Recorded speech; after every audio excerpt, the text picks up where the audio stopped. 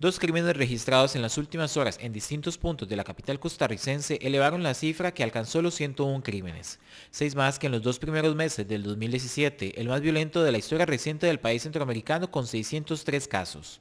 En este momento llevamos 101 homicidios y el año pasado a esta misma fecha eh, eh, habían ocurrido 96 homicidios, es decir, llevamos 5 homicidios más.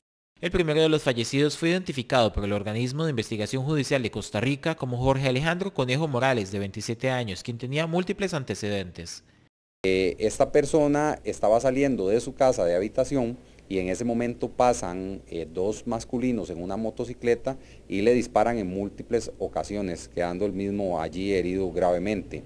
Eh, según nos refiere la familia, una entrevista preliminar, esta persona tenía ah, varias amenazas de muerte, no tenemos claro de parte de quién. Lo cierto es que eh, él temía por su vida y al momento de la revisión del cuerpo se logró encontrar que portaba un chaleco antibalas. La segunda víctima fue identificada como Gravin Valderramos Martínez, de 34 años, quien cumplió una condena por drogas. Esta persona presenta seis heridas por arma de fuego, principalmente en el tórax. Eh, pasan dos sujetos en motocicleta, ingresan a, una pulpería del cual es propietario el fallecido, le disparan en, múltiples ocasiones impactándolo en seis en su, en su cuerpo. Las autoridades judiciales costarricenses proyectan que para el 2018 continúe en ese país centroamericano la alza en la cantidad de asesinatos y finalice con cifras muy similares al 2017.